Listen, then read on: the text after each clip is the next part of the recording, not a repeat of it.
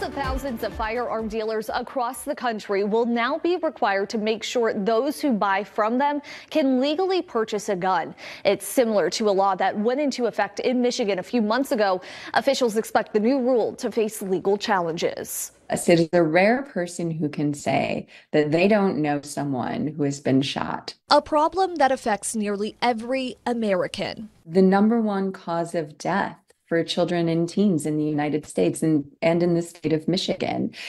Firearm homicide is the number one cause of death for young black men and it's in the top 5 causes of death for you know younger Americans. Dr. April Zeoli says gun violence touches tens of millions, but the director of the Institute for Firearm Injury and Prevention at the University of Michigan hopes that soon changes. We expect that, you know, when people have to have to do this, have to go through that background check, um, that it makes people less likely to try to buy a gun by lying. On Thursday, the U.S. Department of Justice and Bureau of Alcohol, Tobacco, Firearms, and Explosives finalized a new rule which mandates people who sell guns online, by mail, or at flea markets and firearm shows run a background check on buyers.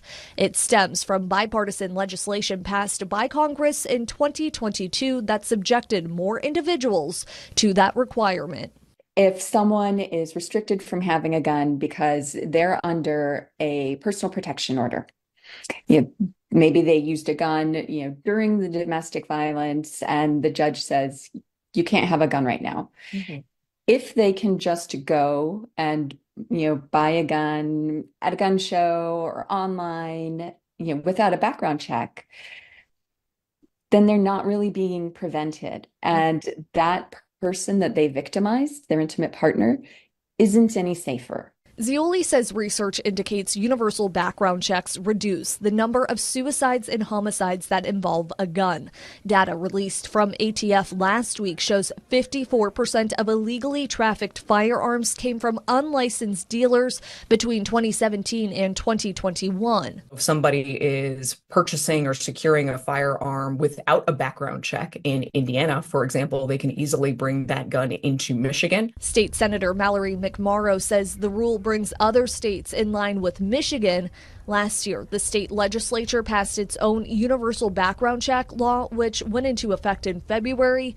The impact of it remains unknown, but she believes safer communities will eventually be created our laws can only be so effective if there's still a patchwork around the country. So, what I am encouraged by with the DOJ and the Biden administration is doing everything they can I did reach out to a handful of gun rights groups across the state to get their input about the rule, but none of them got back to me in time for this story. The DOJ estimates 20,000 unlicensed sellers will be subject to it. Reporting in the studio, Marisa Oberly, Fox 17 News.